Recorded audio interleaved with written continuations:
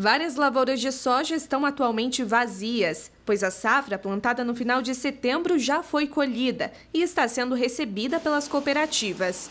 Além disso, as cooperativas também estão recebendo parte da colheita de feijão, que foi plantado para ser colhido entre dezembro e janeiro. O feijão foi uma cultura que eu acho que mais sofreu, porque é, foi plantado o feijão para colher agora em dezembro e janeiro, e aí deu essas precipitações de chuva muito elevada Aí a grande parte do feijão ele morreu, quem colheu, colheu muito mal, muito pouco, e alguns produtores ainda destruiu a lavoura. Terminando então a safra do feijão, nós começamos agora no dia 2 de janeiro a recebermos soja.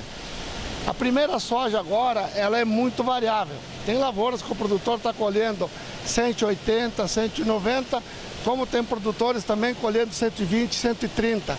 Então é, ela está onerando muito conforme a, o clima. Se teve um lugar que choveu demais, pegou muita chuva, aí ele acabou perdendo. Outros lugares que a chuva foi mais é, gradual, está se colhendo bem. Ainda não há dados em relação à área colhida. Afinal, nesta época do ano, os trabalhos continuam. No entanto, de acordo com o Deral, no Paraná, o plantio de soja chega a quase 6 milhões de hectares. Segundo Nédio Tonos, diretor de operações da Cooper Tradição, tanto o feijão quanto a soja apresentam uma qualidade melhor em comparação ao ano anterior. No entanto, as perspectivas de mercado futuro para a soja não são tão favoráveis. A soja está complicado. A soja, nenhum produtor, nem nós que estamos no comércio, nós imaginaríamos que o soja estaria nessa faixa de 110, 108, 110 hoje todo produtor ele não imaginaria que ele iria vender o soja a menos de 150 reais. Então, eu acho que vai ser muito difícil o nosso produtor conseguir fechar a conta. Enquanto as projeções para o mercado da soja são pessimistas, o panorama para o feijão é bastante promissor.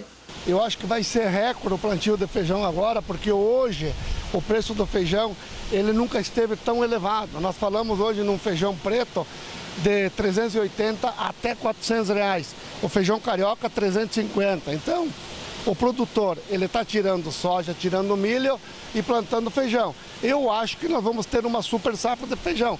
E com certeza, como a oferta vai ser maior, o preço também não vai se manter nos patamares que está hoje, né? A colheita de milho tem início nesta semana. O diretor da cooperativa agropecuária compartilha as expectativas em relação ao recebimento do milho. A expectativa é muito grande também, porque lá no início teve muita inserção de cigarinha, aí posterior à cigarinha, onde o produtor controlou, teve uma alta quantidade de chuva, então as doenças começaram a pegar, especialmente a bacteriose, né? Então o produtor está com muita expectativa agora na colheita. Não sabemos ainda ainda essa certeza qual é que vai ser a produtividade. Espera-se que seja uma produtividade boa.